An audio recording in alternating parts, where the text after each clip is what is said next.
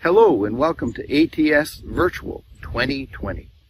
My name is Andrew Halayko and I'm chair of the International Conference Committee. It's my distinct pleasure and my honor to welcome you on behalf of the ATS executive, the ATS staff, and the members of the International Conference Committee to our online conference.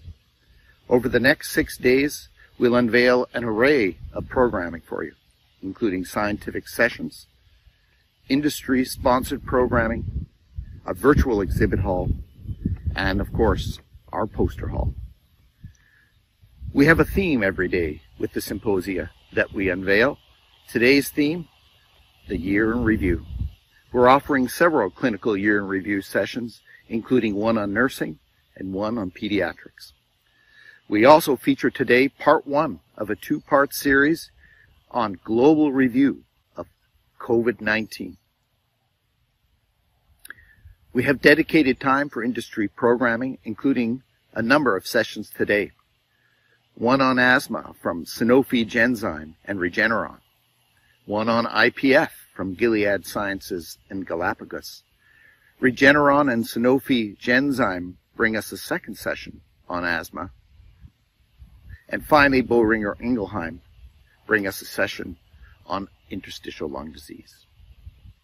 We have live question and answer sessions on a daily basis with experts linked to the theme of the day. Today is no different. You can link, come on to that session later today, ask questions live through a chat format, or post your questions in advance and come on to hear the answers from the experts. Our poster hall, of course, highlights abstracts that showcase the latest scientific advances and discovery made by our members and our attendees.